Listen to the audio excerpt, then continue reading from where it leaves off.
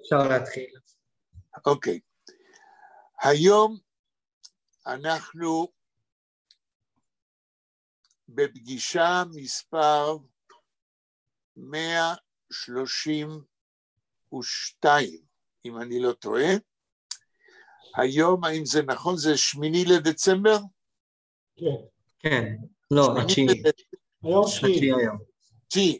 היום זה תשיעי לדצמבר 2021, פגישה מספר 131 של Learn Yiddish and Yiddish Literature Online בזום, ואנחנו באמצע הקריאה של המאמר של מוניק דהן ושלי על יחיאל פיינר, ואנחנו מנסים לענות לשאלה מדוע יחיאל פיינר, או יותר נכון, יחיאל דינור, ניצול השואה אחרי המלחמה, ניסה להשמיט כל עותק של ספר השירים שלו, צווי ונצוונציק, מ-1931.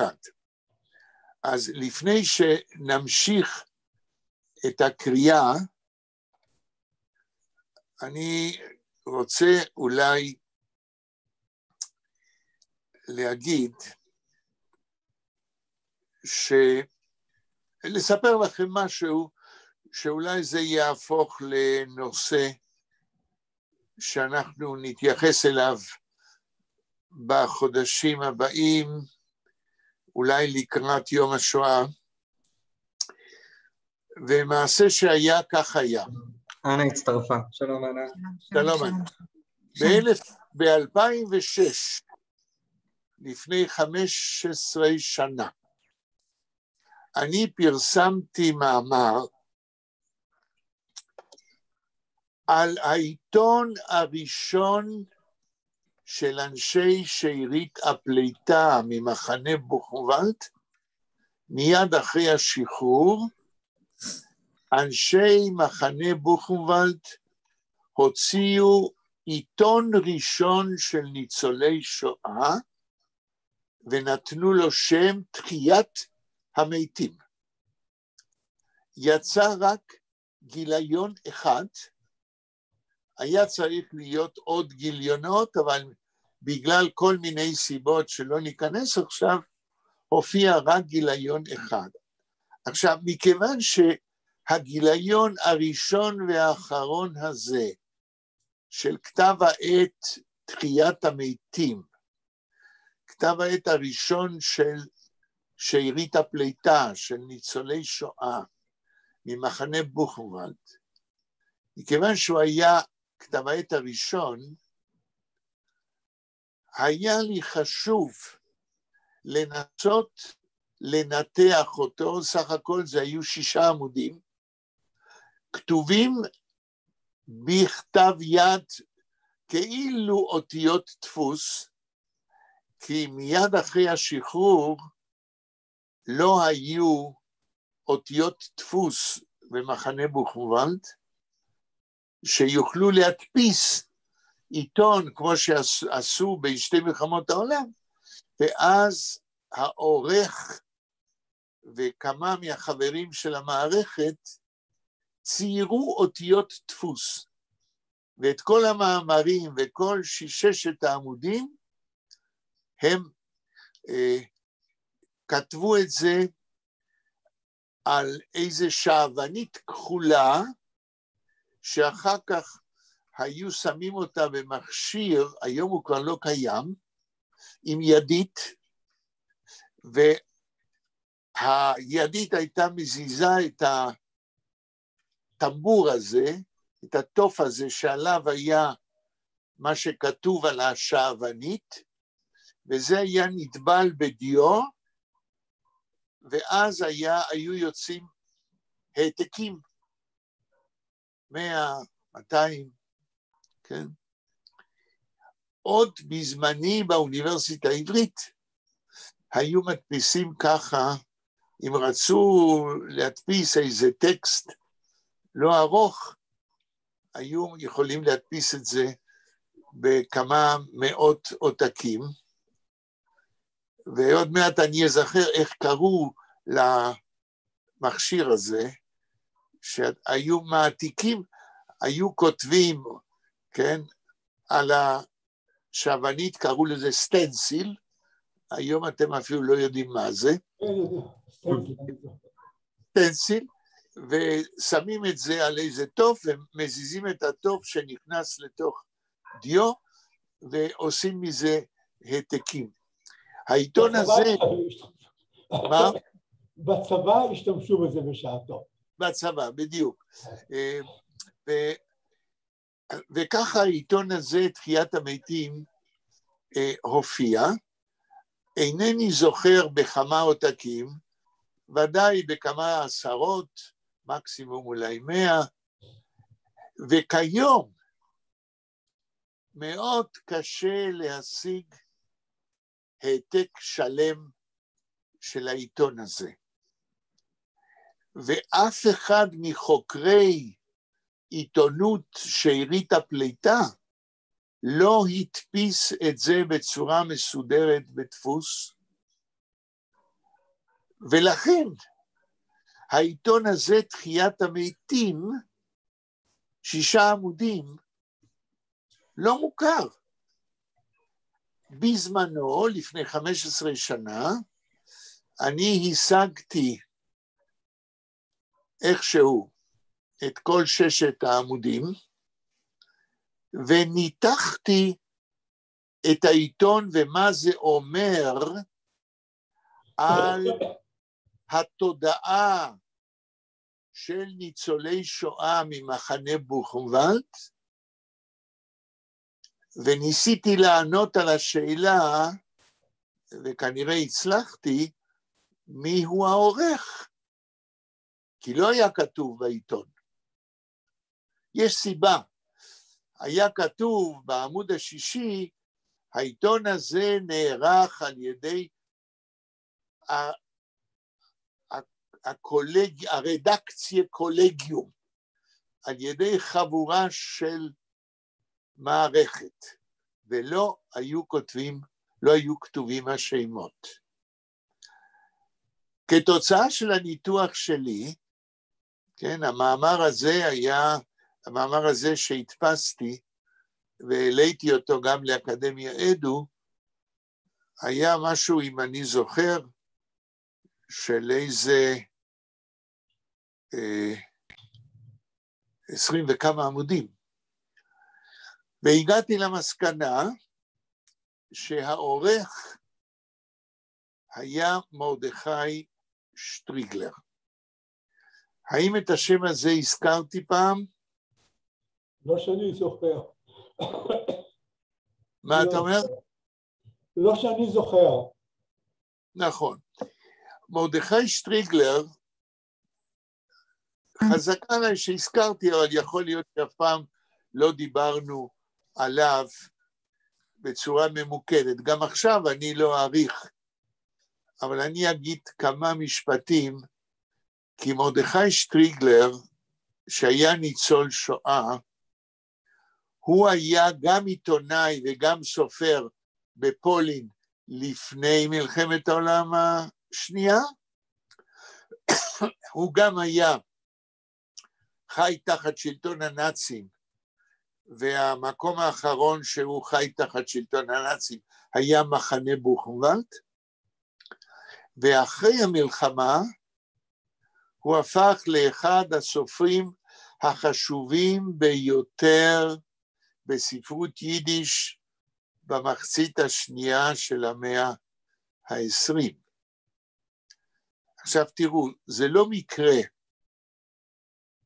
שגם שטריגלר וגם קצטניק וגם אלי ויזל היו בחורי ישיבה. יש תופעה שבתולדות ספרות יידיש, במחצית השנייה של המאה העשרים, וגם גראדה, סופרים חשובים ומרכזיים בספרות יידיש, כולם היו בחורי ישיבה בפולין בין שתי מלחמות העולם. גם אהרון צייטלין, שלא היה בחור ישיבה, אבל אהרון צייטלין בא ממשפחה חבדית, שגם אביו וגם אמו היו אנשי חב"ד. מה שאני רוצה להגיד, שלאור מה שאמרתי עכשיו, מותר ל... להגיד מסקנה שבין הסופרים החשובים בספרות יידיש, שהמשיכו את המסורת המפוארת של ספרות יידיש בת 750 שנה, אחרי מלחמת העולם השנייה, היו רבים בין החשובים שבסופרי יידיש, שהיו לפני המלחמה בעלי השכלה ישיבתית ואנשים שומרי מצוות ובחורי ישיבה.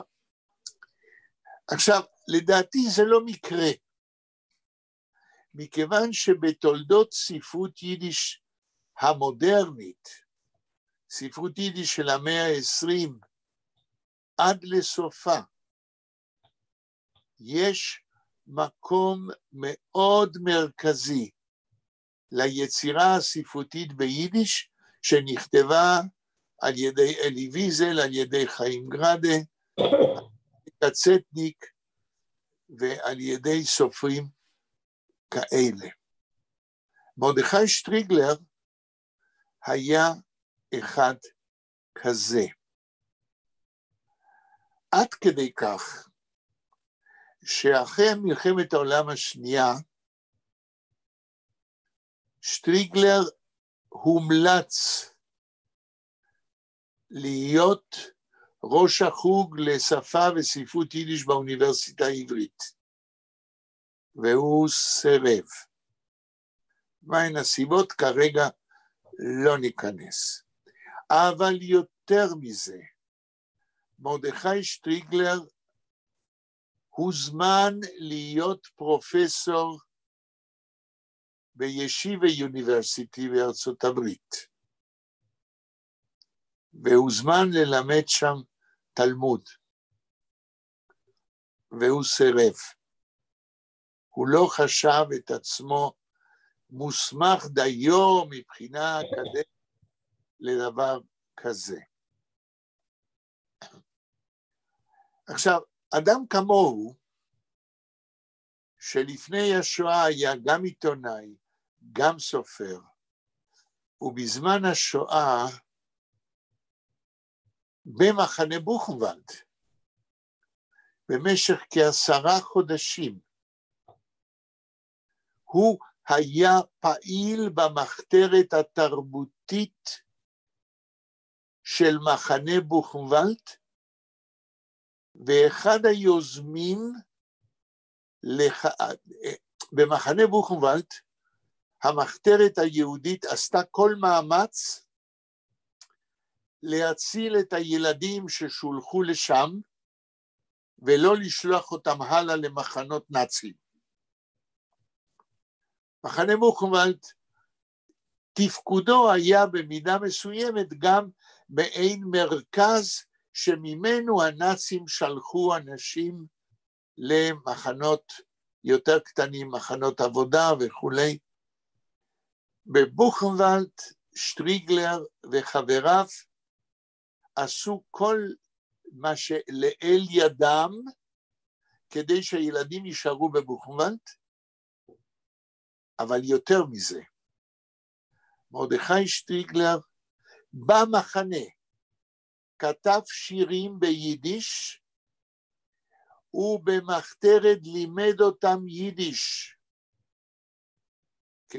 למה? מכיוון שאותם ילדים, אלה שהיו, הרי היו ילדים מגיל שלוש עד גיל בערך שמונה עשרה, כן?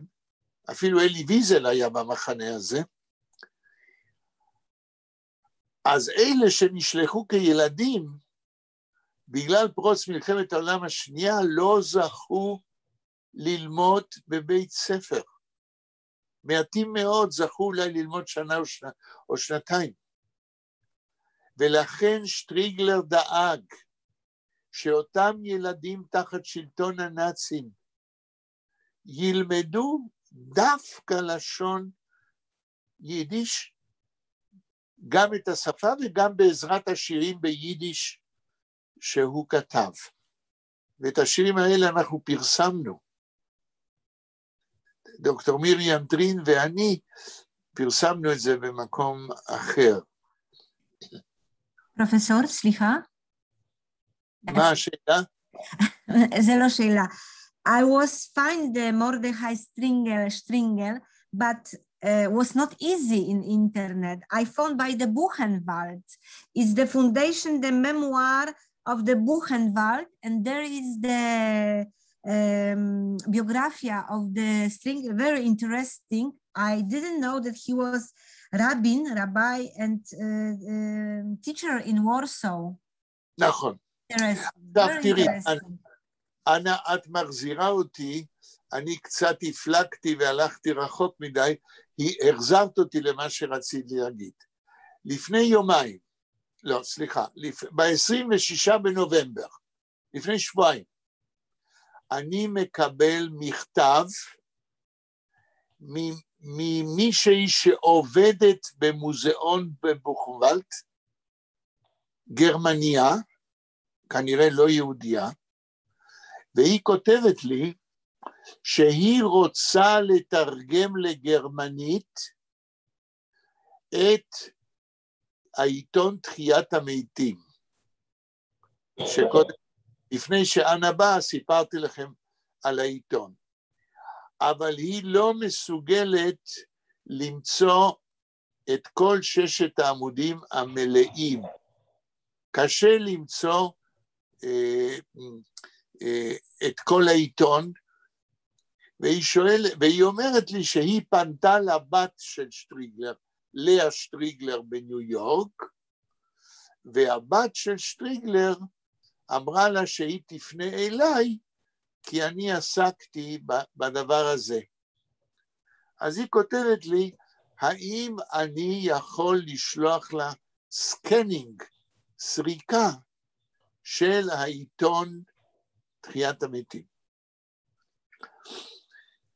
כי אני שלחתי לה לינק למאמר שלי על העיתון הזה. לפני שאנה באה, אמרתי לכם שפרסמתי לפני 15 שנה ניתוח של העיתון והגעתי למסקנה שאף על פי שזה לא כתוב, העורך הוא מרדכי שטריגלר. ואני עניתי לה היום, היא לא יודעת טוב עברית, למדה קצת יידיש, עניתי לה שאני מאוד מצטער שהשקעתי ימים שלמים בחיפושים אחרי אותו עיתון, ובעיקר היא מחפשת עמוד חמש, וניסיתי להיזכר איך אני ראיתי את כל העמודים, אבל חיפשתי באצלי ולא מצאתי, ועד היום חוקרי עיתונות שארית הפליטה לא פרסמו מחדש את העיתון הזה, תחיית המתים, והוא עיתון מעניין ביותר, שפורסם כ-11 ימים אחרי השחרור בבוכוות. אז זה רציתי להגיד שאולי בעתיד אנחנו נקרא את המאמר שלי ואולי בעזרתכם נוכל למצוא את העיתון עצמו, ואני יעצתי לגברת הזאת בבוכנוולד, שאם היא רוצה לתרגם את ששת העמודים האלה לגרמנית, אני מציע לה שהיא תיתן ליד זה, ליד התרגום לגרמנית, גם את הטקסט המקורי ביידיש, כי זאת תהיה תרומה חשובה מאוד לעיתונות שארית הפליטה, לעיתון הראשון שפורסם כשבועיים, אפילו פחות, אחרי השחרור על ידי מרדכי שטריגלר. אני רוצה להגיד עוד דבר. תוך כדי החיפושים שלי להבין מה זה העיתון הזה ומה הוא מייצג, ב-2005 הגעתי למסקנה שאחד הרדקציה קולגיה, אחד מהאנשים שהשתתפו כעוזרים של שטריגלר בכתיבת העיתון ביד, נמצא בארץ, בקיבוץ נצר סרני. נדברתי עם דוקטור מרים טרין ב-2005, ונסענו לקיבוץ נצר סרני, ופגשנו את האיש שכתב, נדמה לי, עמוד חמש ושש, אם אני לא טועה, בכתב ידו, והוכחתי את זה במאמר, שרוב המאמרים נכתבו בכתב יד בצורה של אותיות דפוס על ידי מרדכי שטריגלר. אבל אותו אדם מקיבוץ נסר סרני, ששמו יצחק, יצחק אהוביה, באנו אליו וראיינתי אותו. עכשיו, והוא אישר לי שהוא היה אחד העוזרים של מרדכי שטריגלר. אבל הרבה יותר מזה, אחת התלמידות שלי באוניברסיטה העברית, נדמה לי ששמה היה יהודית לוין, היא עבדה, אולי עוד עובדת היום ביד ושם, והיא מצאה ביד ושם יומן שאותו יצחק אהוביה כתב בבוכנוונד.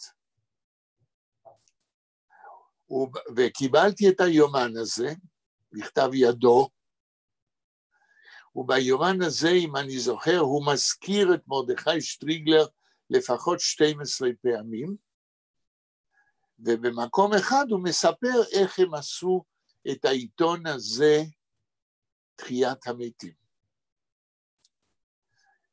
נעזרתי ביומן של יצחק אהוביה, וזה עזר לי להבין מה העיתון הזה, תחיית המתים, התכוון לעשות ומי כתב בו. לא ניכנס עכשיו לדבר על העיתון ועל תוכנו,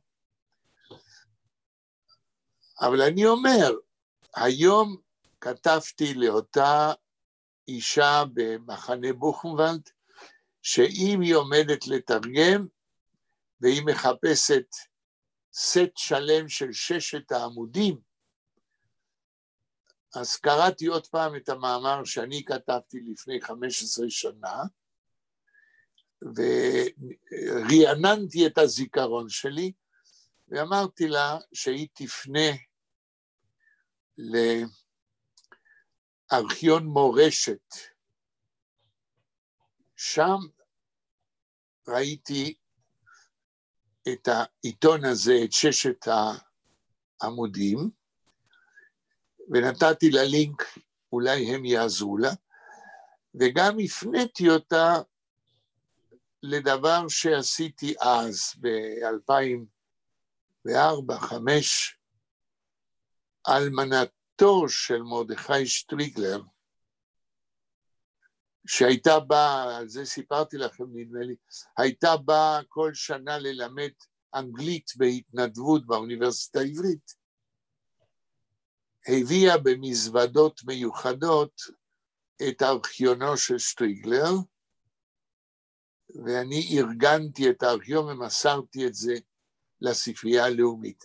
אז שלחתי את הגברת הזאת מבוכנוולד, אולי בארכיון של מרדכי שטריגלר שנמצא היום בספרייה הלאומית, במחלקת הארכיונים, אולי הם יוכלו לעזור לה. יש אישה בשם אה, יהודית מנינגר, אתה מכיר אולי? כתבה על הילדים. רגע, תגיד עוד פעם את שמה. יהודית מנינגר, כתבה על הילדים בבוכנוולד, כאשר אה, דווקא אלי ויזל הגיע בצרפת באיזשהו מחנה שהייתי בזה, האישה הזו, וכתבה ספר על הילדים בוכנוולד, אבל בצרפתית. מה שאני מכיר, היא פרופסור כיום, נדמה לי בבר אילן. כן, כן, לא, לא היום כי. אבל זה לא השם שלה. השם שלה, תיזכר רגע. אה, אוי, השם היה לי על, על קצה הלשון. האבא שלה היה בבוכוולד, ובעקבות האבא שלה היא כתבה ספר באמת על בוכנוולד, אבל היא לא מזכירה את שטריגלר, אף על פי ששטריגלר היה מעורב בהתארגנות של אנשי בוכנוולד להקים קיבוץ במדינת ישראל. ואותו קיבוץ שאמרתי, כן, אה, קיבוץ נצר סרני, בהתחלה היה צריך להיקרא, וככה הוא נקרא, קיבוץ בוכנוולד. אבל הוועדה של השמות בארץ אמרה שזה לא נאה ולא יפה שקיבוץ במדינת ישראל נקרא על שם מחנה נאצי. בהתחלה הם קראו לעצמם קיבוץ בוכנוולד, אבל עכשיו, אחר כך מהר מאוד, שינו את השם לקיבוץ נצר סרני. עכשיו, פרופסור, אוי, מה שמה, אה, אני, אני אזכר ודאי עוד מעט, זה לא בדיוק השם שאתה אמרת, השם מצלצל דומה, אבל... אה, אה, זאתי הייתה בצרפת, תשמע איזשהו מחנה דווקא לניצולי שואה מבוכנוולד, בתוכם, מה? בתוכם אלי ויזל. אני מנסה להיזכר בשמה, טידול באומל, זה שמה. פרופסור טידול, טידור באומל היא אחת המומחיות למה שהיה בבוכנוולד בשל האבא שלה, כן, שהיה שם, אבל אני קראתי מה שהיא כותבת, את שטריגלר היא לא מזכירה, אבל ממקורות אחרים, כן, ואני יודע, וגם מהיומן של, של אותו אדם שאמרתי שעזר לו, אני יודע שהוא היה מעורב באותה קבוצה שהתכוננה לעלות ארצה. גם, גם הוא עצמו, גם שטריגלר עצמו, התכונן לעלות לאותו קיבוץ. אינני יודע מה בדיוק קרה, אני חושב שהוא, לא, אני יודע, שהוא כתב להם מכתב תשמרו לי מקום בקיבוץ, אני בא. עד כדי כך, כן, הוא היה נחוש. וביומן של אותו יצחק אהוביה, הוא מדבר על שטריגלר, הוא אומר, הוא היה מנהיג אמיתי, הוא היה יושב באמצע ואנחנו מסביבו, והיינו שומעים אותו נואם ומדבר על ארץ ישראל. עד עד, עד כדי כך. אז זהו, אז אני מקווה שהגברת הזאת, אה, שאני לא רוצה לסלף את שמה, אבל יש לי באימייל שלי, אם היא תקבל את ההצעה שלי ותמצא את כל ששת העמודים, הלוואי ותיתן צילום של המקור ביידיש, וליד זה התרגום. היא אומרת שהיא למדה יידיש, והיא אפילו אמרה לי איפה, אני עכשיו לא זוכר, אני מקווה שהיא תצליח. והאמת היא שזה מאוד חשוב, מכיוון שהעיתון הראשון של שארית הפליטה עד היום לא זכה לבולטות ולהיות מודפס ולהיות נחקר. זה נכון שמזכירים את העיתון הזה. צמח צמריון, צמח צמריון, אחד החוקרים הראשונים של עיתונות שארית הפליטה, מזכיר את העיתון, אבל הוא טעה. הוא חשב, מכיוון שלא היה כתוב מי העורך, הוא כתב שזה עיתון קומוניסטי. למה? מכיוון שבתוך הגיליון הזה יש שני מאמרים של אחד בשם גולדברג, שהוא באמת היה קומוניסט, והוא באמת כתב מאמר בתוך העיתון, הבה נחזור לפולין לבנות את פולין הקומוניסטית. אבל זה לא שטריגלר. שטריגלר כנראה, וזו אחת המסקנות שלי במאמר, מכיוון שהוא רצה להוציא עיתון של שארית הפליטה על כל הגוונים והאידיאולוגיות, הוא לא רצה לכפות את דעתו, ורצה לתת עיתון שמשקף גם את הקומוניסטים, גם את הבונדיסטים, כן? וגם את אלה שרצו לחזור לארץ ישראל. ויש שם מאמר שחתום מוטלה. מוטלה זה מרדכי שטרילר, זה הוכחתי במאמר שלי, והמאמר נקרא ווהין, לאן. והלאן הזה מתכתב עם מאמר מפורסם של פיירברג, מסוף המאה ה-19, הסופר העברי, שכתב את המאמר ההיסטורי המפורסם לאן, ואמר שדי ליהודים לחיות חיים קפואים בפולין, והם צריכים לעלות לארץ ישראל. טוב, לא ניכנס. זה המאמר, שם אני צעד אחרי צעד מוכיח עד כמה ששטריגלר, שהוא היה עיתון, עיתון, עיתונאי מנוסה עוד לפני מלחמת העולם השנייה, היה מספיק ישר כדי לתת לשקף בתחיית המתים את כל הגוונים של, ה, של, ה, של ההשקפה לעתיד של ניצולי שואה, וזה ייאמר לשבחו. טוב. פרופסור, רק רגע, אני לא מצאתי איפה זה היה בסנגוגה בוורשאו, מתי הוא היה רבי. אני לא יודע, זה היה, זה, there was the one bigger, the reformator, the synagogue בוורשאו, and there was the, זה לא חסידים, אבל זה הוא היה, הוא היה דתיים, כן? ודאי. חסיד, אבל אני לא מצאתי. אוקיי. זה הוא היה דרביי בוורשאו. הבנתי, הבנתי את השאלה שלך, וכמו תמיד כשאת שואלת, אני אומר, את עוזרת לי עם השאלה כדי לענות על מה שאת אומרת. אם כבר שאלת, אם אני מבין את השאלה שלך, את אומרת ככה, מה שקראת על שטריגלר, את מה שהוא קראת שהוא היה בבית כנסת גדול, ומה הוא עשה שם, ומי, מה, מה הוא עשה בוורשה. זה מה שאת שואלת. נכון? כן, כן, נכון, נכון. טוב, איפה הוא היה דרביי? אני אענה על השאלה שלך בקיצור. אפשר לענות על השאלה שלך בהרחבה, אבל אני רק אענה בקיצור, כי אנחנו רוצים לעבור למשהו אחר. אבל השאלה שלך היא שאלה.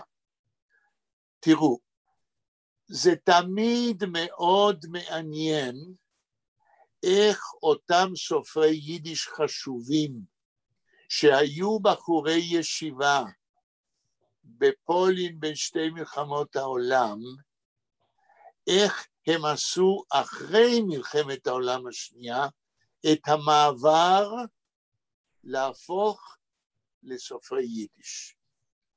גם גראדה היה בחור ישיבה והפך לסופר יידיש. גם אלי ויזל היה בחור ישיבה, הפך לסופר יידיש. גם שטריגלר היה בחור ישיבה, הפך ל... But only the Christopher- Striegler was רגע, the רגע. rabbi. רגע, השאלה היא, הרגע הזה, כאשר בחור ישיבה מחליט להקדיש את רוב זמנו לכתוב ביידיש ולהיות סופר, מה קרה עם שטריגלר ברגע הזה? אז אני אגיד בקיצור. אני אגיד בקיצור. כאשר מרדכי שטריגלר, שהוא היה באחת הישיבות, הוא היה בקלצק, ישיבת קלצק, הוא היה בגלל כתב היד היפה שלו, למרדכי שטריגלר היה כתב יפה, בגלל זה הוא הפך למזכירו של הרב קוטלר. הרב קוטלר, הוא למד בישיבה שלו, והרב קוטלר ביקש ממנו לענות על המכתבים שלו, כי הרב קוטלר התכתב עם כל העולם. הוא אפילו היה נוסע לארצות הברית, עוד בפולין, בשתי מלחמות העולם, לגייס כספים בשביל הישיבה שלו. ושטריגלר, כן, וזה אני יודע מכל מה שקראתי, היה יושב אפילו בחדר עבודתו כשהרב נסע לארצות הברית והיה עונה על מכתבים בשם הרב קוטלר בכתב יד יפה. ברגע ששטריגלר החליט שהוא רוצה להיות סופר יידיש, להקדיש את כל זמנו לכתיבה ספרותית, הוא עזב את הישיבה ועבר לוורשה. ובוורשה הוא מצא עבודה בשני תחומים. הוא הפך למזכירו של הרב האחרון בוורשה, שכרגע את שמו אני לא זוכר, אבל בעיקר הוא התפנה, הוא הרוויח את כספו כמטיף בבית הכנסת, אם אני לא טועה, בבית הכנסת הגדול בוורשה. מה זה מטיף? אדם שמדבר על פרשת השבוע בשבתות. וזה הוא התפרנס בעיקר. ולכן בימות השבוע הוא היה פנוי לכתיבה. אז כשאת שואלת, אנה, על הקשר שלו עם בית הכנסת בוורשה, הוא היה מטיף בבית כנסת, ובימות השבוע הוא היה פנוי לכתיבה. טוב. תודה. אם יש פה שאלות או קומנטרים לפני שאנחנו ממשיכים עם המאמר של מוניק דהאם ושלי. על כל מה שאמרנו עד עכשיו, לגבי העתיד, שאולי נדבר על העיתון הראשון של שארית הפליטה, האם יש שאלות? לי לא. כי אם, כי אם אין שאלות, אני, אני אתן תשובות. כן, נתנאל, מה אתה אומר? שאין לי שאלות. אוקיי, אז אני אתן תשובות לשאלות שאין לכם. זאת אומרת, אני אוסיף עוד משהו קטן כדי למסמר את הנושא של עיתונות שארית הפליטה. תראו, אתם צריכים לדעת שמיד אחרי השחרור נשארו ניצולי שואה במחנות שלהם. ומיד אחרי השחרור, אולי חודש, חודש וחצי אחר כך, התחילו ניצולי שואה לפרסם עיתונות מטעם ניצולי שואה. זה מה שקוראים במחקר עיתונות שארית הפליטה.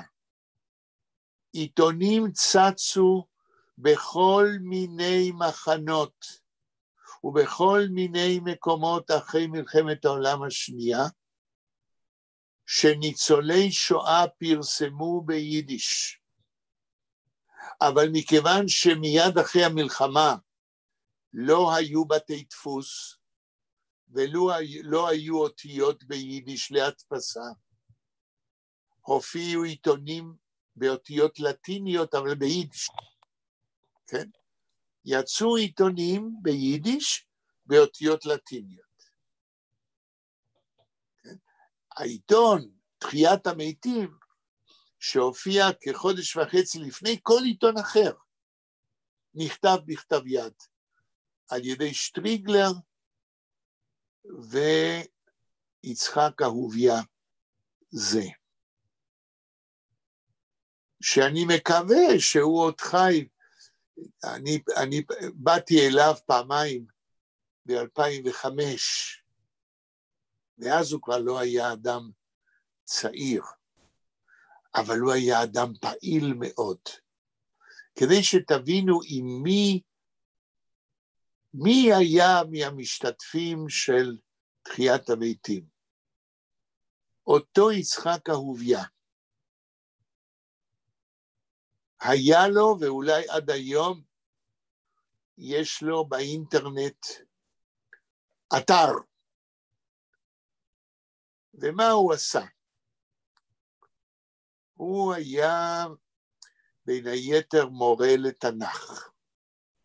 והוא עשה דבר, כן, אני מדבר על יצחק אהוביה מנצר סלני, אחרי המלחמה.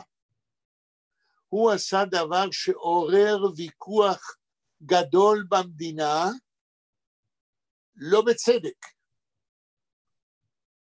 מה הוא עשה? אני אגיד דבר, ותחשבו טוב, אני לא טועה. הוא תרגם את התנ"ך לעברית. אז אתם תגידו לי, מה, על מה אתה מדבר? הרי התנ"ך כתוב בעברית. איך הוא תרגם אותו לעברית? פשוט מאוד. התנ"ך אומנם כתוב בעברית, אבל הוא רצה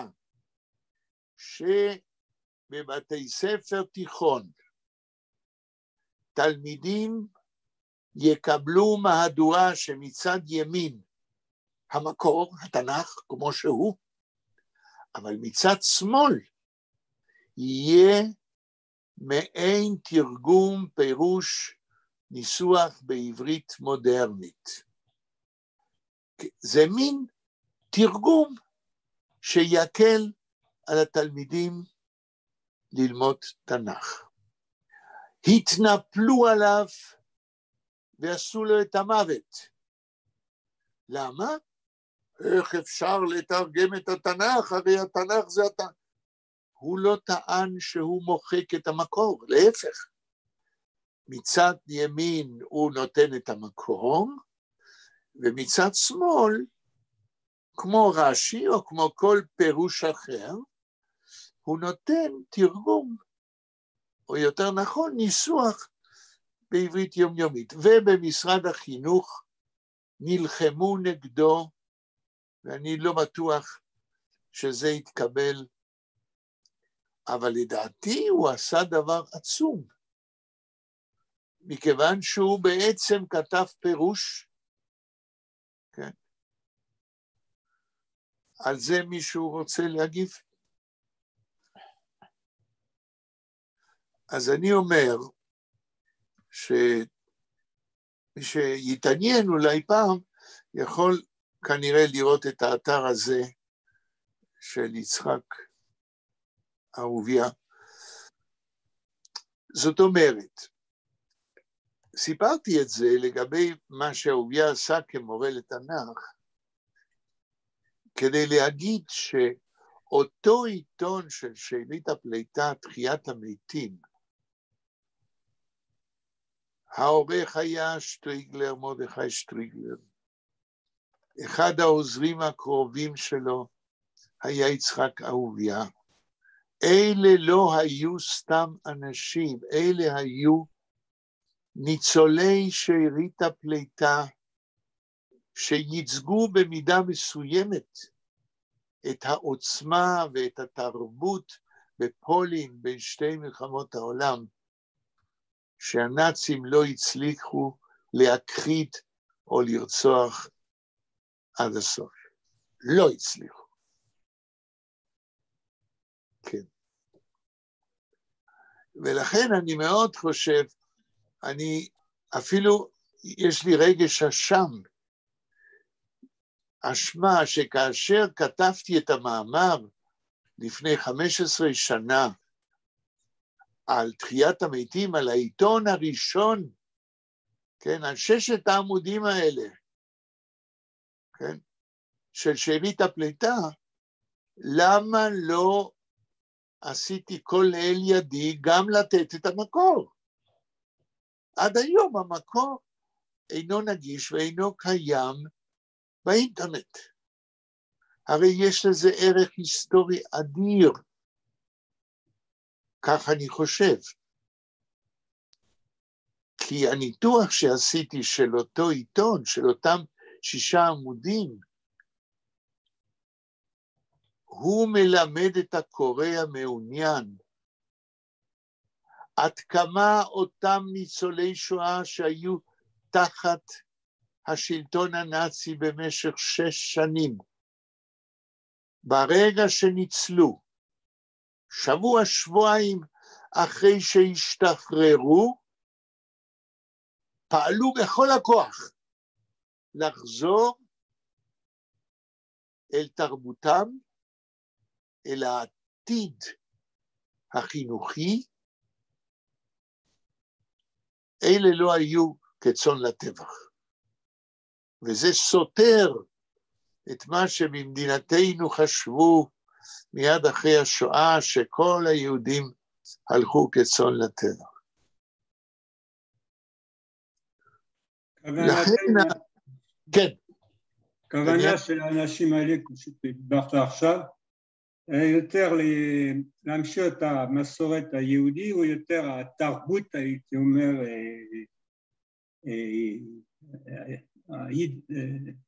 כאילו התרבות היידיש. אוקיי, השאלה שלך, דניאל, מאוד חשובה. אם אני הבנתי את השאלה היא, האם לדעתי, אתה שואל, האם לדעתי עיתונות שארית הפליטה משקפת, כאן מדברים על, על, על כל העיתונים האלה שהופיעו מיד אחרי המלחמה, האם היא משקפת ניסיון להמשיך רק את תרבות יידיש, או יש כאן ניסיון להמשיך את התרבות היהודית בכל היקפה. אני צודק בשאלה שלך? נכון, במיוחד מי שמתרגם את התנ"ך, אז זה יותר כנראה אוקיי. בכיוון ה... אוקיי, אז כדי לענות לשאלה שלך, אני נותן תשובה פרקטית מיידית. תלמידה שלי ועוזרת מחקר שלי בעבר, שמה אלה פלורסהיים. כיום היא עורכת ראשית ביד ושם.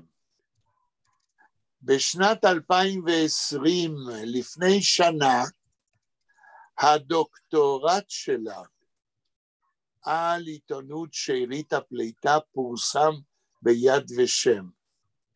אם אני לא טועה, הספר שלה נקרא תחיית המילים. לפני כשנה הופיע המחקר שלה על עיתונות שארית הפליטה.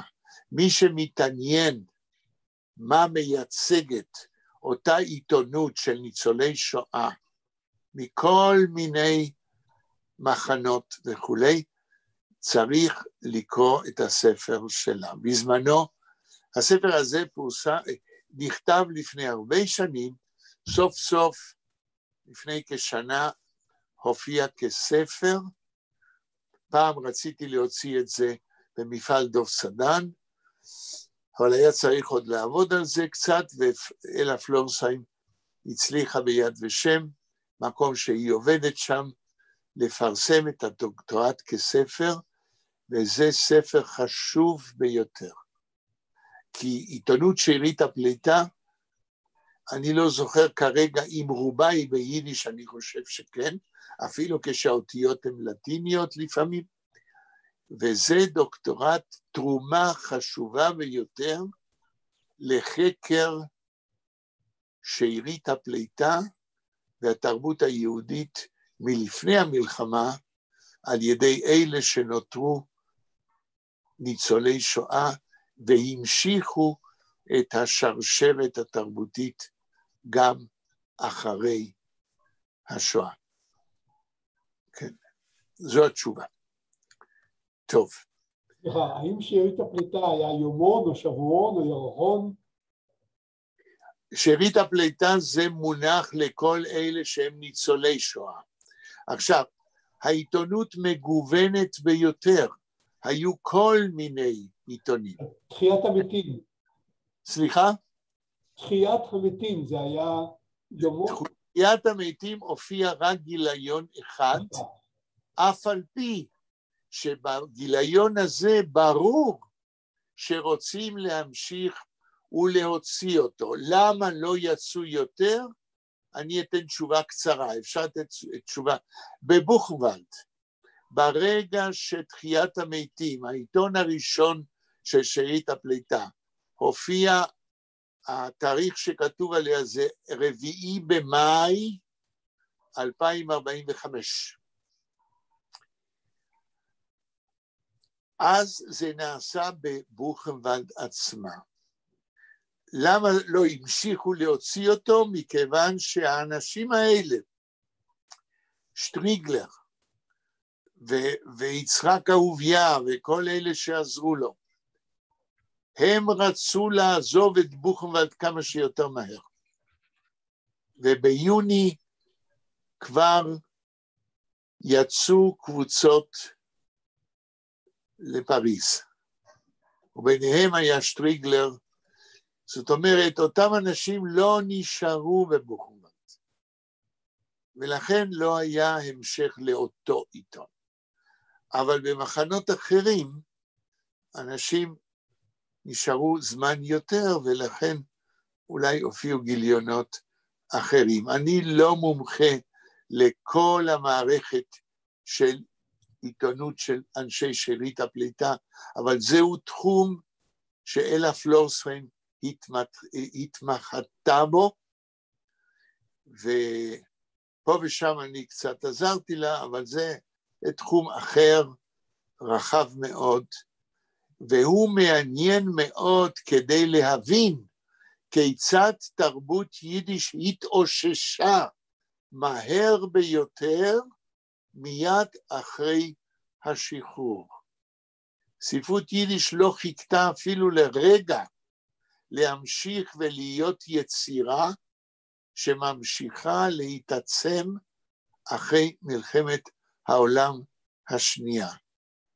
וודאי ידוע לכם, ואם לא ידוע לכם, אני קובע ממה שאני יודע, שספרות יידיש, אחרי מלחמת העולם השנייה, המשיכה לפרוח במאוד מאוד על ידי אותם ניצולי שואה ששרדו. כן. שלום צבי. מה אתה אומר, נתנאל? מצטרף מישהו שקוראים לו צבי כהן, אני לא מכיר אותו, אבל נעים מאוד. אולי נבקש מצבי כהן שיציג את עצמו?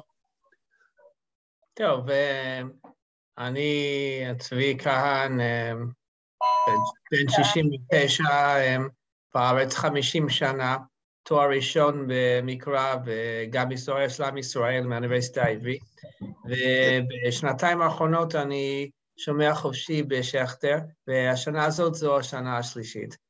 כי מה אוקיי. שלמדו בשנות ה-70 במקרא זה לא מה שלומדים היום, אז אה, התחלתי לקרוא כמה מאמרים בפייסבוק על, על thetorah.com, וזה סקרן אותי מאוד, וואי, מה זה? אז אה, מן הון להון אה, למד עוד כמה דברים. אבל איך הגעת אלינו? איך ידעת את הלינק, את הקישור? עזרא, אמ, אה, סליחה, לא עזרא, עוזי וכהן ואני יחד בכמה כיתות. עוזי מי? כהן. כן, אבל איך, מי נתן לך את הלינק? אמ, דרכו, אני הגעתי, ומי שרשם אותי, רשם אותי, זה אפרים ברקוביץ' רשם אותי. הכרתי עוד אפרים אחד, אמ, אה, אפרים ברקוביץ', בסדר. זה שם שאני מכיר, והרי אנחנו נעזרים, ב... נעזרים באתר שלו כדי לקיים את הפגישות האינטראקטיביות האלה. עכשיו, אני רק מודיע לך, אני לא יודע מה סיפרו לך, אנחנו עושים פגישות אינטראקטיביות כאלה פעמיים בשבוע מאז, מאז מאי 2020, והמטרה שלנו זה ללמוד את שפת יידיש ואת ספרות יידיש. זה אני לא הבנתי, חשבתי שזה בתנ"ך. לא, לכן אני אומר לך את זה, כדי שלא תטעה לאן נפלת. אנחנו לא עוסקים, אנחנו כמובן מתייחסים, אבל העיקר אנחנו לומדים לשון וספרות יידיש. מכיוון שספרות יידיש, כן, היא תרבות של 750 שנה, אז תודה לאל, יש לנו מה ללמוד. במידה ואני יכול, ואני לא יכול, לכסות את כל 750 השנה. אז עכשיו, אתה יודע יידיש? אביסל. הצברוכן היידיש, אמא שלי הייתה צוחקת ממני. ההורים שלי לא. דיברו יידיש ברמה של שפת אם. אני לא. אז זה כבר, זה כבר, איך אמר רבי נחמן, כן, לב שבור הוא לב שלם, הצברוכן היידיש שלך מספיק. אנחנו ביקשנו שמי שרוצה להשתתף אצלנו צריך איזשהו ידע פסיבי ביידיש. ואם אתה מסוגל להגיד הצברוכן היידיש, זה סימן שיש לך ידע פסיבי. אבל השאלה שלי היא אחרת.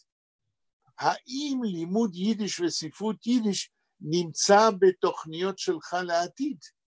כי חיובי. צריך די מוטיבציה. חיובית. חיובי. יפה. אני גם אתה- שמעתי, כשהייתי באוניברסיטה, אמ, היה לי זמן, אז אה, באחד מהשנים שמעתי קורס גם כן ביידיש. אצל מי?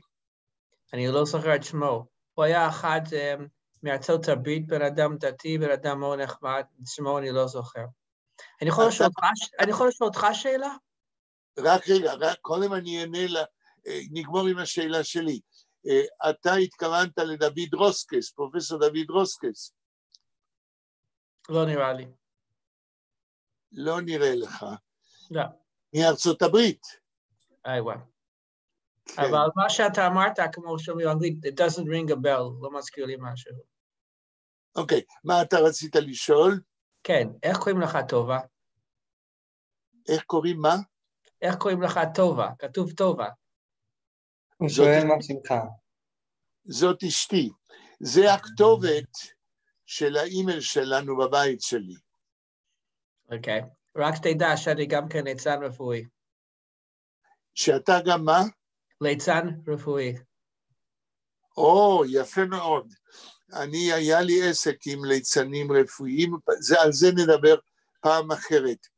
עכשיו אני רוצה להגיד לך שתי מילים, וזה לכולכם, כן? אם אתה כבר אה, נכנס ו, ויש הזדמנות לדבר על כך. אנחנו היום, זוהי הפגישה 132, כן? של הפגישות הדו-שבועיות שלנו. אה, הפגישות האלה מבוססות על פגישות שבועיות פעמיים בשבוע, יום שני ויום חמישי, אנחנו נפגשים ברבע לשש כדי לקשקש, ובשש אנחנו מקליטים את הפגישה שמתחילה רשמית אז, ואחרי ההקלטה מעלים את הפגישות ליוטיוב. ביוטיוב כל אדם יכול להיכנס, ובאמת אנחנו מתקרבים ל-2,800, מתקרבים ל-2,800 איש מכל העולם, שבאים לשמוע מה שאנחנו עושים. היתרון של מי שנכנס מבחוץ ליוטיוב, זה שהוא לא נדרש לש... לתרום, נקרא לזה, 15 שקל על כל פגישה.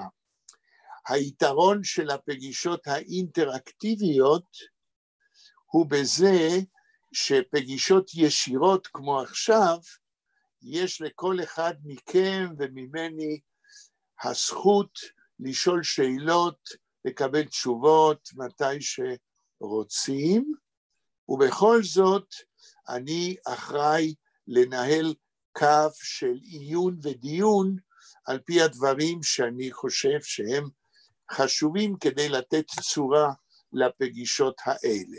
אני רוצה להגיד שהעניין הכספי הזה הסתבך לנו קצת, מכיוון שמאז מאי 2020 התחלפו האנשים שמנהלים את הפגישות האלה. אני לא יכול לעשות את זה בשל כך שאני בעצם אדם עיוור, זה כבר 35 שנים, וכדי לנהל את הפגישות, כן, צריך לראות כדי לדעת איך להכניס אנשים וכולי. ולכן היו, אה, אפרים ברקוביץ', שהזכרת את שמו, כן, הוא היה המנהל הראשון, לא, השני, כן, של הפגישות האלה.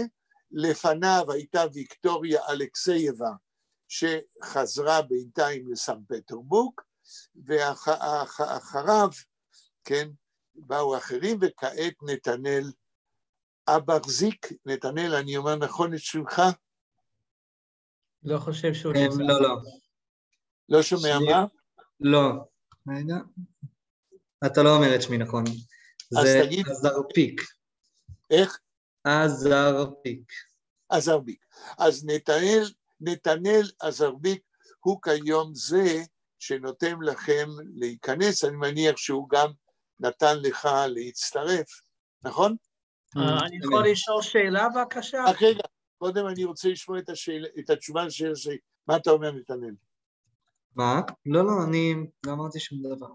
לא, אני שאלתי אותך, אתה Mm. נתת להיכנס. כן, כן, נתתי לו. מה רצית לשאול?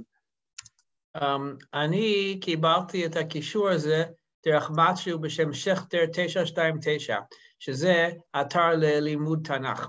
אני הקלקתי ואני um, um, הגעתי ל, um, ל, לכם.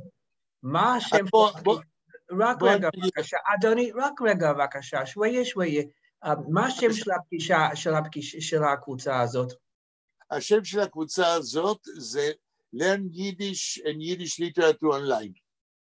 הם טעו כשנתנו לך את הקישור הזה. יכול להיות שבגלל שאפרים ברקוביץ' לומד בשכטר, אז היה שם איזשהו בלבול. אבל בוא, בוא נסכם, כי אתה נכנסת באמצע הדיונים שלנו. אם אתה חושב שאתה רוצה להשתתף, אז אנחנו נמשיך עם הדיון שלנו. ו... אבל זה מה שהסברתי לך, כן? זה מה שאנחנו עושים. אתה צריך להחליט, כן? Um, באיזה ימים, באיזה שעות אתם מת... אמר ימי שני וחמישי ברבע לשש, כדי לקשקש, בשם, בשש אנחנו מתחילים באופן רשמי. ומשש לכאלה עד מתי? שבע וחצי. זה בשבילי um, קצת קשה. טוב, אני, אנחנו, תראה, אתה נכנסת באמצע הדיון, אז תשקול, תחשוב, ואנחנו נמשיך עכשיו עם הדיון שלנו. Um, זה- יש לכם אתר um, uh, uh, וואטסאפ? לא. לא. אה. יש לנו באקד... ב... יש לנו ביוטיוב, אנחנו מעלים את דברים שאנחנו מקליטים. זאת אומרת, אתה יכול מבחוץ, בלי להשתתף פנים אל פנים, אתה יכול לשמוע את כל 132 הפגישות. תודה שאתה אומר לי, זה מפורש מעניין אותי. אני לא יודע אם עכשיו, אני עדיין, אני עובד ארבעה ימים בשבוע, ימים שלמים, אבל כן. uh, החל מספטמבר אני אהיה בן 70 בעזרת השם, אז אני כן. מתכוון לקצר את, ה, את, ה, את השעות העבודה שלי, ואז אני מפורש אמרתי לעצמי שאני רוצה להעמיק דיוטיי ביידיש. דפקתי עליכם בטעות, אבל אני שמח שזה קרה. עכשיו, דפקתי, תרשום לך learn יידיש אונליין, ככה זה כתוב שם, ותוסיף את שם משפחתי בכתיב פולני, הכל בלועזית. learn יידיש אונליין, ואתה מוסיף שיינטוך, S-Z. רגע, רגע, רגע. תראי לי ככה, פחד עם זה, מכשירי כתיבה. אגב, אימא שלי נולדה בוורשה. תראה, אני מציע, אתה יודע מה, טוב, בסדר. אז תרשום. אני פשוט רוצה לחזור לדיון שלנו, כי... אני רשמתי כבר את השם, כי כתוב השם שלך על ה... על ה... זה, על החלונית שלך. ואמרת, ואמרת, learn Yiddish online, זה מה, זה מה שאמרת? כן, זה מה שכתוב, תוסיף את השם שלי, ותוכל ככה ביוטיוב להיכנס לכל, אני מציע לך שדבר ראשון תסתכל בשני השיעורים הראשונים, ששם אנחנו מסבירים את האלף בית ביידיש ואיך צריך לקרוא באופן מדויק לפי האורטוגרפיה המודרנית. בלי זה אתה תסתבך. צבי, אני שלחתי לך קישור בצ'אט. כבר הקלקתי. אוקיי, אז יביא אותך ישר לערוץ יוטיוב שלשם עולים כל השיעורים. תודה. בחיי היום-יום אני גם כן עובד הייטק. בסדר. אוקיי, היה נעים לי מאוד, תודה רבה לכם. בבקשה. תודה רבה, להתראות. לנו היה נעים. זה מעניין שאתם יודעים, אומרים גם זו לטובה, כן? גם מטעויות אפשר ללמוד דברים וללמד דברים, ואיך היה אומר מישהו שמדבר בלשון יראים, זוהי ההשגחה העליונה. כן, טוב. Okay, שלום וכל טוב. להתראות. אנחנו חוזרים עכשיו למאמר של מוניק דהן ושלי. היום בלה לא בא, אז האם נתנאל או יאיר, אתם זוכרים איפה הפסקנו? כן, אנחנו כן. הפסקנו בעמוד... תגיד, תגיד עמוד ו- ופסקה. עמוד 11, אה, צריך להתחיל ב... לדברי הרושובסקי בציטוט לעיל, בחלק, התח... בפסקה התחתונה. הנה. נכון. עכשיו, נתנאל, מכיוון שלך יש קול רדיופוני, תודה רבה. אז אני אומנם מנסה לא להביא אותך בפרך, אבל מכיוון שעוד לא ככה אתה, אז אולי... האם כולם רואים את המקום? כן. כן. בבקשה. אוקיי. יש לנו עוד כ... רבע שעה. רבע שעה, כן. לדברי הרושובסקי, בציטוט לעיל, מהדהדים טונים דומים ועובדות המגיעות, המגיעים אלינו מתולדות חייו ויצירתו. ויצירתו. נתנאל, אתה, אני כבר שומע אצלך כמה פעמים את המילה לעיל. נדמה לי שהקריאה הנכונה זה לאל, כן? אוקיי. נדמה לי, כן, אוקיי. טונים הבאים לידי ביטוי כבר בהקדמה של יחיאל פיינר לספר שיריו בשנת 1931. נקרא לאט. דיון ראשוני בהקדמת פיינר לספר שיריו צוויום צוויציק כלול בספר העומד להופיע בקרוב של מוניק דהן, קצטניק והאחר, בהוצאת מפעל דוב סדן באוניברסיטה העברית.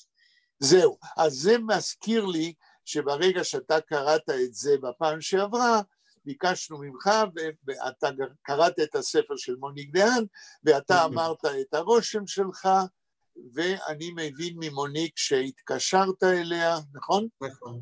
כן, כן. זהו. ואני גם מבין הכנס שאתה מארגן הוא בדרך, ומוניק הסכימה להשתתף ולדבר על הספר שלה, ופרופסור דוב שוורץ גם ידבר, אבל מוניק לא ידע להגיד לי על, על, על איזה נושא. לא, אז דיברנו שוב ביום, אתמול, דיברנו שוב אתמול, ואני אה, השתדלתי לעזור לה לחשוב על נושא השיעור. ואם שוורץ? כותב את השיעור... מה? אני שואל על דוב שוורץ, על מה הוא ידבר?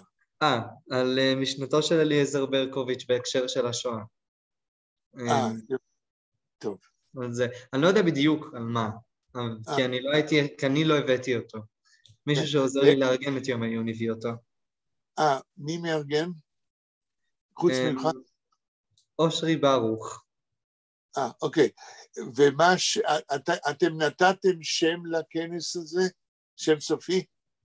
אמ, נראה לי שכן, יש, יש את השם שאיתו פרסמנו, רגע, שאיתו אנחנו פרסמנו את היום עיון לציבור הרחב. אגב, כולם פה מוזמנים, אני לא... אני מאוד אשמח לראות אתכם. אבל בשביל זה אתה צריך לשלוח להם הזמנה. כן, קראנו לזה שואה וזיכרון. אה, יפה.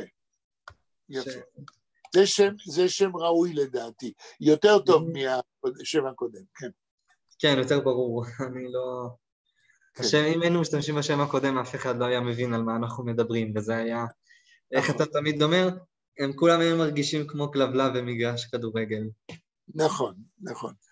בזמן המשחק, כן. בזמן המשחק, שהם לא יודעים מהיכן הכדור יגיע. בדיוק. בדיוק. טוב, אז אפשר להמשיך לקרוא. אפשר להמשיך. שם, ש... שם שהוקדש מקום נרחב לניתוח המבוא לספר השירים צווי ונצוויציק. מבוא שמתאים לו בימינו השם מניפסט ספרותי של הסופרים האורתודוקסים כותבי יידיש בין שתי מלחמות העולם. בנימין הרשקוב... הרשקובס, אה, הרשובסקי מודה במבוא לספרו שציטטנו לעיל, לעיל, כי ספרו יורשי הסימבוליזם בשירה האירופית והיהודית, כולל מבחר מצומצם של טקסטים הנוגעים לנושא. אף על פי כן, מפעלו האונתולוגי בספר הזה הוא עד היום אבן יסוד ומקור חשוב לכל המתעניין במודרניזם היהודי כחלק מהספרות בעולם. אולם, כפי שניסחנו להראות עד עכשיו, המבוא של יחיאל פיינר לספר שיריו צווי ונצוויציק הוא בעל חשיבות היסטורית ספרותית, והראוי לדיון מיוחד. במבוא, במבוא של פיינר, שנביא בהמשך, מופיע בפעם הראשונה תרגום לעברית של המבוא לספר השירים צווי ונצוויציק, לצד המקור ביידיש. המבוא פותח במילים כל משורר הוא שליח ציבור בהר הקדושה של שירה. המשורר מדמה עצמו לשליח ציבור שנושא בכנפי שירתו את השליחות ומשמש כפה לרגשות, לרגשות ומחשבות הציבור, למצוקות טוב, ולתפילות. אוקיי, סליחה. אה, המונח פה, הר הקדושה של השירה, צריך הסבר מצידי, מכיוון שפיינר לא משתמש במילים סתם. ואנחנו בפעם שעברה ניסינו, כן, לדבר על ההגדרה של המילה קדושה, כן, לקדוש. עכשיו, כשפיינר אומר הר הקדושה של השירה, אני רוצה להדגיש שלדעתי, להבנתי, הוא לא אומר את המילים האלה, הר הקדושה של השירה, דרך אגב. יש פה שני דברים שמסקרנים אותי.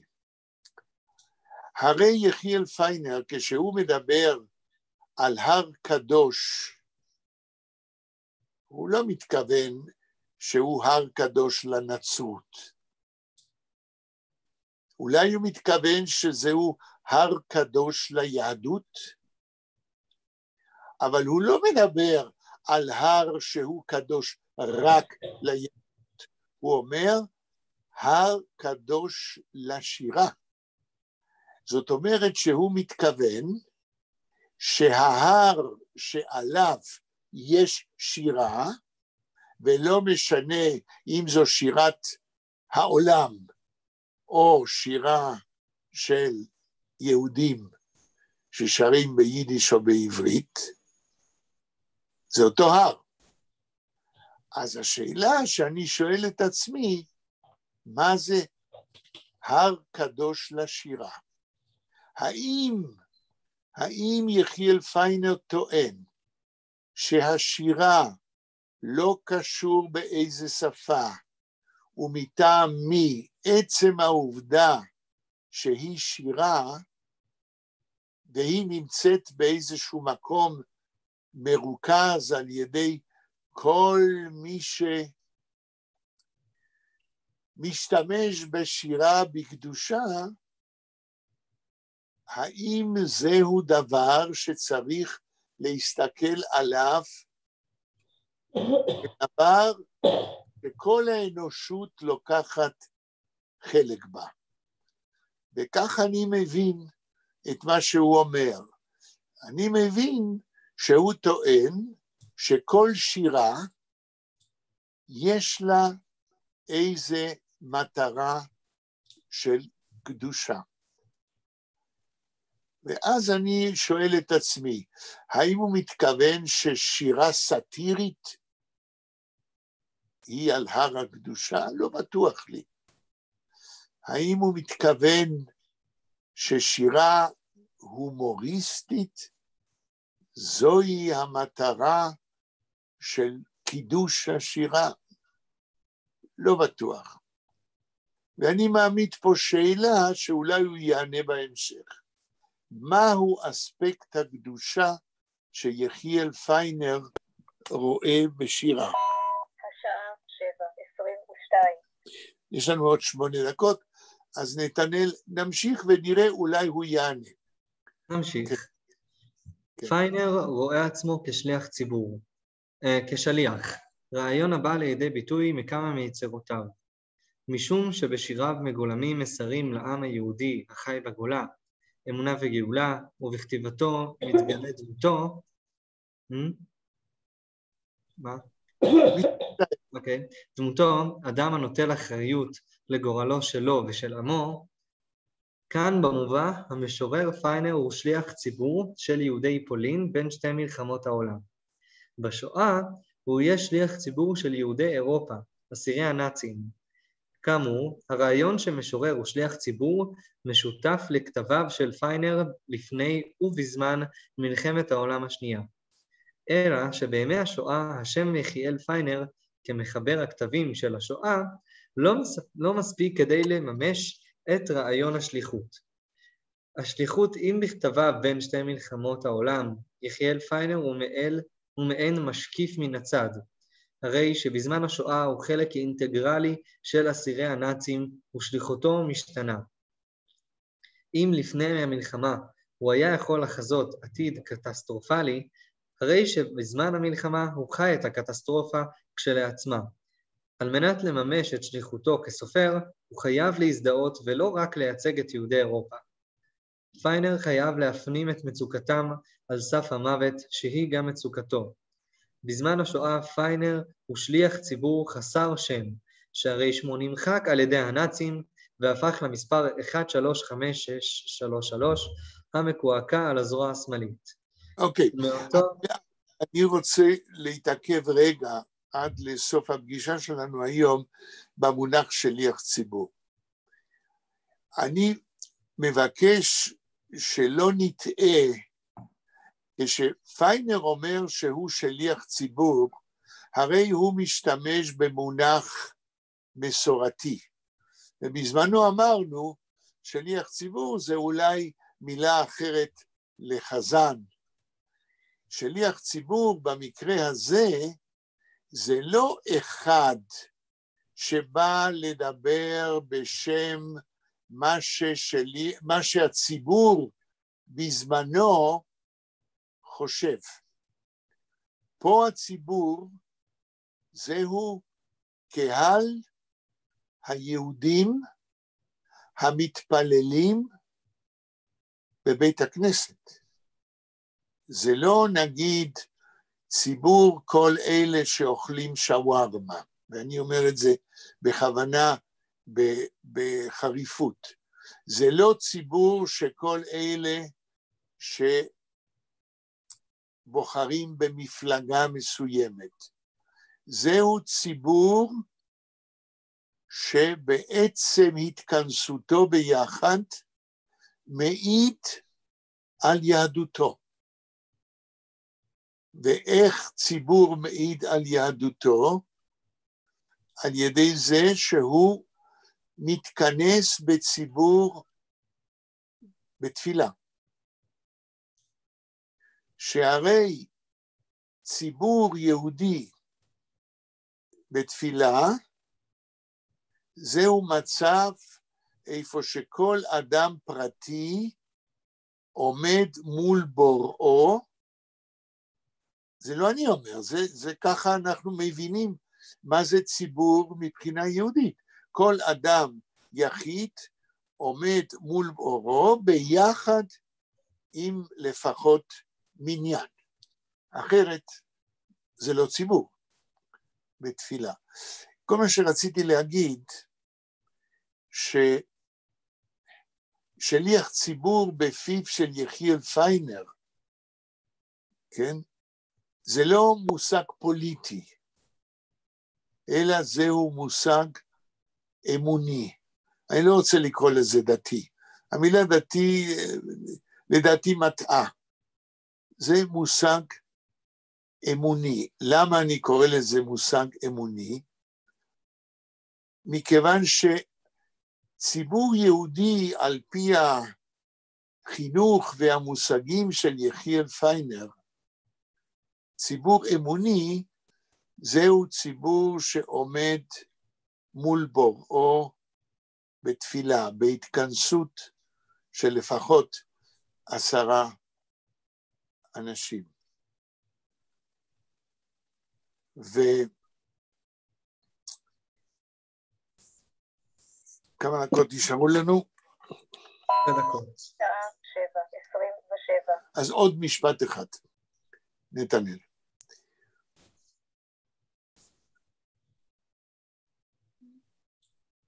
אה, אוקיי, אמ, לא הבנתי שאתה רוצה שאני אקריא. כן, עוד משפט. מאותו הרגע, השם יחיאל פיינר אינו רלוונטי יותר עבור שליחותו. היותו אסיר בגטאות ומחנות נאצים, אמ, היותו אסיר בגטאות ומחנות נאצים. אסיר כזה נקרא בלשון התקופה קצטניק. אמ, כן, כן, בסדר, אנחנו, כדי לסכם נגיד כאן, כשהוא היה שליח ציבור כמשורר בין שתי מלחמות העולם, אז הוא דיבר בשם ציבור, אבל לאו דווקא בשם מצבו של הציבור באותו רגע בין שתי מלחמות העולם, אלא בשם ציבור יהודי שהשקפתו על החיים כציבור יהודי יש לו איזושהי תמונת עתיד שבספר השירים ציון צנציק לא מתממש. כמו שאמרנו, השירים עצמם מעידים שהציבור שבשמו הוא מדבר כמשורר נמצא במצב רחוק מאוד ממה שאותו ציבור שואף כציבור יהודי לעתיד. אבל בזמן השואה, המשורר עצמו הוא בעצמו אסיר, והוא בעצמו חווה מה שהוא חווה, והציבור של האסירים שבשמו הוא כותב כקצטניק, הרי שנמצא במצב עוד יותר גרוע מאשר יהודי פולין בשתי מלחמות העולם. אם בשתי מלחמות העולם השירים שלו מעידים שהם נמצאים בגולה ורחוקים מגאולה, הרי בזמן השואה הציבור שלו עומד ונרצח. ואז מה צריך להיות שליח הציבור, אותו קצטניק, איך הוא צריך לפנות כציבור אל אלוהים. איך הוא צריך אז להתפעל, להתפלל. כך אני מבין את זה, ואנחנו כרגע מסיימים. אני רואה שהיום שוב היו לנו כמה, גם באשמתי, שדיברתי על דברים אחרים, וגם בגלל אי ההבנה.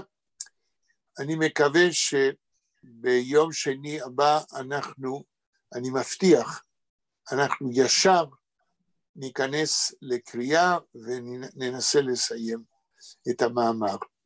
אם יש שאלה או קומנטר או משהו לפני הסיום, אני אשמח לשמוע. לא, זה- רגע, רגע, רגע. יאיר היה הראשון. בבקשה, מה אתה אומר, יאיר? בשביל להיכנס ליוטיובים צריך איזה לינק מיוחד או שכל אחד יכול להיכנס? אה, נתנאל, כל אחד יכול להיכנס. אתה יכול לשלוח ליאיר? בס- אני שלחתי פה בצ'אט למטה, אתה רואה אותו? יאיר? פה? יש לך שורה למטה שיש בה כל מיני um, דברים שאתה יכול לעשות, יש שם mute, stop video, security, כן, כן. כל אלה, אז באחד מאלה יש לך צ'אט. תיכנס אליו, תלחץ עליו, איך הוא נקרא? צ'אט. צ'אט, כן. אני שלחתי שם לכולם קישור ליוטיוב, אז תפתח אותו. אה, נתנאל שלח אה, בשבילי the text. I am not sure if I have the same in edu. אה, מה אני מצאתי. What you, you to, was you was reading now? וואט? אה, אנה, טקסט. מה... Uh, this text what we was now the reading. I אה, want, זאת אומרת, המאמר זה- של... כן, שאת. I'm, כן, כן, כן, כן, נכון. אבל אני ראיתי, אנה, שאת נכנסת והורדת אותו אתמול. כן, אבל I, I was just translated, I want just to compare if I have the same text. זה אותו טקסט, כן. מהמם, מהמם. נתנאל, טוב. אני ראיתי אותו, אבל אני לא העתקתי אותו, אני- איך אני יכול לקבל אותו? אתה יכול לשלוח לי במייל? אבל אין לי את שלחנו המייל. שלכם, זה לא אני. אה, שלחנו לך את זה בזמנו, אה, בזמנו. ואנחנו גם מעל- מעלים את זה ל- למסך ברגע שאנחנו קוראים. טוב. תודה. אמ, כן, אפשר לשלוח שוב פשוט, זה לא באמת, זה לא באמת בעיה. כן. וגם יש את זה באקדמיה אדו, אפשר להיכנס. כן, כן, גם. אני, יש באקדמיה, I, I think I have the same text. אוקיי, אוקיי, בסדר. תודה, תודה רבה. תודה. רבה. לך. תודה רבה. יום שני. הבא, אנחנו, אני מבטיח, רק נקרא ונסיים את.